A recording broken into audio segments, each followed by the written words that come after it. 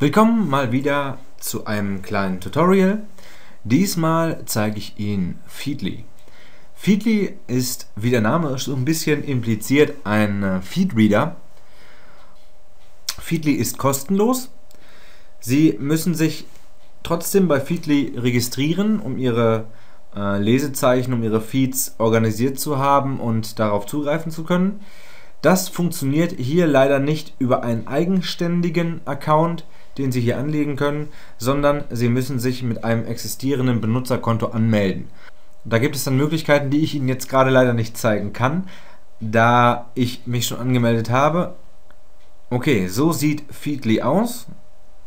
Und Sie haben hier auf der linken Seite eine kleine Bearbeitungsleiste, wo Sie also äh, Content hinzufügen können oder auch eine Content-Datei OPML importieren können. Wenn wir jetzt also auf Add Content klicken, möchte er, dass wir uns hier Content aussuchen. Und wir können das auf mehrere Arten machen. Wir können hier etwas suchen, zum Beispiel äh, den Spiegel und wir können hier die Schlagzeilen nehmen oder aus den verschiedenen Ressorts können wir uns was abonnieren. Wir möchten einmal die Schlagzeilen abonnieren und sehen hier gleich schon, was gerade aktuell auf Spiegel Online los ist. Wir bekommen hier Vorschläge angezeigt, die uns auch interessieren können. Wenn wir also jetzt das Ganze für Feedly nutzen möchten, können wir hier oben auf den Button gehen, Add to Feedly und haben hier die Möglichkeit, äh, äh, das Ganze als Must-Read sozusagen priorisiert speichern zu lassen. Wir können ähm, Kollektionen anlegen, indem wir Kategorien bilden, zum Beispiel Nachrichten und können das Ganze dann hinzufügen lassen. Und Sie sehen, was ist passiert. Wir haben hier die Spiegel Online Schlagzeilen stehen. Wir haben 10 ungelesene Artikel, viele, viele Leser und wir haben vor allen Dingen hier auch unser Schlagwort, unser Tag Nachrichten, in dem das Ganze untergruppiert ist. Auf der linken Seite haben wir nun unsere Must-Reads. Das sind jetzt alle Schlagzeilen aus dem Spiegel. Wir hatten das eben so, ähm, ja, wir hatten das eben ja festgelegt. Save for Later ist im Moment leer und hier können wir wieder Inhalt hinzufügen. Bei den Must-Reads sieht es so aus, dass wir jetzt hier zum Beispiel die Möglichkeit haben, ähm, Real Madrid auszuwählen und hier dann gleich sehen, das ist eine Schlagzeile von vor 34 Minuten. Bisher noch nicht gelesen. Wir können das Ganze auch als äh, nicht gelesen weiter markieren, selbst wenn wir es gelesen haben. Wir können es hier aus der Liste ähm, verstecken und wir können uns hier eine Preview anzeigen lassen, die im Prinzip der ganze Artikel ist, aber hier in einem neuen Fenster geöffnet wird. So. Okay, was haben wir hier noch für Möglichkeiten? Wir können hier ganz großartige Sachen machen. Wir können es für, äh, für später speichern. Das heißt, dass wir es später dann nochmal lesen wollen. Wir können es jetzt hier weiter verlinken zu Evernote, wir können es zu OneNote schicken, wenn wir das installiert haben. Ist übrigens ein Gratis-Tool von Microsoft und über die Homepage dort zu beziehen. Okay, wir können es zu OneNote schicken, das funktioniert ganz gut. Wir können allerdings keinen Tag vergeben, dazu müssten wir uns für ein Premium-Konto entscheiden. Sie haben hier die Möglichkeit, es per Mail zu schicken. Sie haben die Möglichkeit, es bei Google zu teilen, Twitter, Facebook. Das übliche eben, was man an sozialen äh, was man an sozialen Netzwerken Must-Haves heutzutage so auf dem Computer haben muss. Okay, wir können natürlich auch mit einem Klick direkt in die Überschrift direkt auf die Seite kommen. Das funktioniert also auch ganz gut. Wir haben aber nicht nur die Möglichkeit, hier über die Suche von Feedly das Ganze zu übernehmen. Wir können uns auch über URLs ähm, bedienen. Wir möchten hier jetzt also mal neuen Content hinzufügen und eben nicht direkt über Feedly gehen, sondern mal einen Link hinzufügen und dazu können wir ganz einfach uns die URL aufrufen. Ich habe hier mal den Blog eines Freundes gewählt, der hier seine Rennerfahrung festhält und dazu wählen wir hier einfach die URL aus, gehen zurück zu Feedly und fügen sie hier einfach ein. Okay, und wir möchten hier den RSS-Feed mitnehmen. Jetzt warten wir einmal ab. Und hier haben wir schon die Inhalte, alles wunderbar.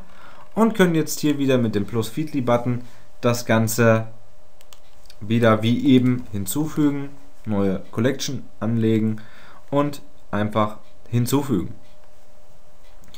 Okay, und was wir jetzt hier sehen, ist, äh, äh, sind unsere Tags auf der linken Seite. Unter Motor haben wir den GT Motor Blog und unter Nachrichten haben wir Spiegel Online.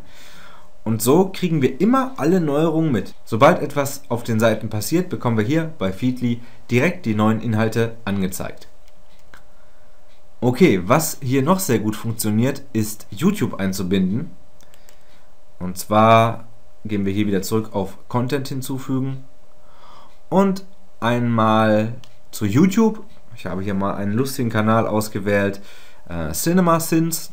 Die suchen also immer Filmfehler und bereiten das Ganze in ihren Videos auf. Sehr witzig, wirklich. Und auch hier brauchen wir nur die URL zu kopieren, zu Feedly zu gehen, einzufügen und fertig. Natürlich nicht vergessen, vorher auf Plus Feedly zu klicken. Kategorie ist dann Unterhaltung. Wir können hier natürlich auch aus der Liste unserer bisherigen Kategorien schon mal wählen, aber das ist jetzt Unterhaltung und kommt jetzt dazu. Und schon haben wir hier alles als RSS eingefügt und können hier auch wieder auf alles zugreifen und wir kriegen also auch Vorschläge, was uns dann auch gefallen könnte, aufgrund der Tags, die hier hinterlegt sind. Wir können jetzt hier nicht nur nach URLs suchen, ähm, nach Titeln, wir können hier auch mal nach Themen suchen. Wir geben einfach mal Snowden ein. Edward Snowden ist ein schönes Thema und haben dann hier zum Beispiel Google News. Alles, was mit Snowden zu tun hat, können wir auch nehmen. Und immer wenn bei Google News irgendwas mit Snowden passiert, können wir das Ganze dann hier auch bei Feedly verfolgen. Das soll mal mit zu Nachrichten und schon haben wir es auch unter Nachrichten gespeichert und kriegen hier auch immer die neuesten Informationen zu Edward Snowden, die bei Google News hinterlegt werden. Okay, was geht noch? Uni Paderborn zum Beispiel und können uns dann hier zur Universität Paderborn alles Aktuelle anzeigen lassen. Sie haben hier oben die Featured-Artikel, die Sie jetzt so ansehen können, dass wir hier auch wieder ein kleines Pop-up haben. Und hier der Text erscheint. Wir haben natürlich wieder alle Teilmöglichkeiten.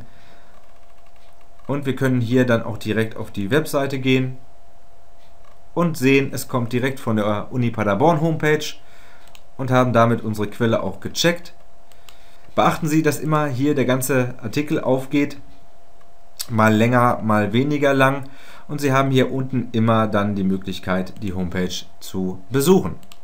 Nun können wir nochmal gucken, was zum Thema E-Learning bei Feedly hinterlegt ist. Und wir haben hier zum Beispiel The E-Learning Coach und da möchten wir einmal sehen, wer das ist. Sie können sich also jetzt hier ansehen, bevor Sie es zu Feedly hinzufügen, ob das für Sie in Frage kommt, ob das interessant für Sie ist. Und wir klicken das Ganze mal an und wir sehen hier also einen kleinen Text und ein kleine, eine kleine Audiodatei, auf die wir scheint ein Podcast zu sein. Ja, wunderbar. Das können Sie sich also auch direkt bei Feedly ansehen. Sie können jetzt allerdings nicht direkt zur Homepage springen. Dazu müssen Sie das Ganze erst hinzufügen. Ist aber für einen ersten Überblick wirklich, wirklich gut. Okay, so viel zu Feedly. Ich hoffe, Sie fanden es einigermaßen interessant und würden das Ganze auch mal ausprobieren. Es ist wirklich äh, eine tolle kleine Page. Wenn Sie die Anmeldehürde übersprungen haben, wird das Ganze auch sehr einfach und klar. Okay, vielen Dank für die Aufmerksamkeit. Bis zum nächsten Mal. Tschüss.